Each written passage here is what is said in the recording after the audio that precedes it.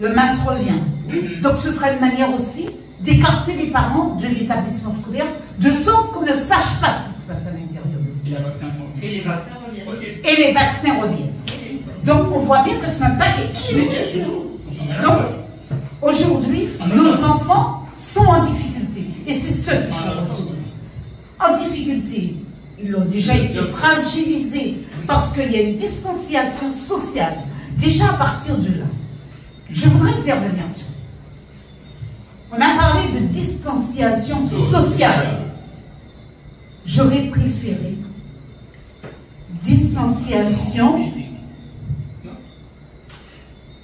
médicale, distanciation peut-être physique comme tu dis.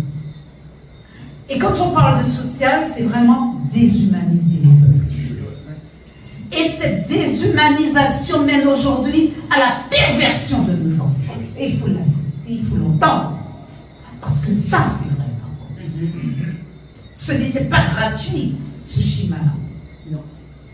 D'accord? Ils ont commencé par nous écarter, mhm. enlever l'amour que nous avons pour nos enfants. Mhm. Dans leur tête, pas dans la nôtre. Oui.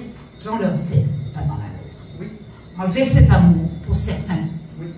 Une fois que cet amour part, effectivement, on laisse la porte ouverte à tous nos enfants.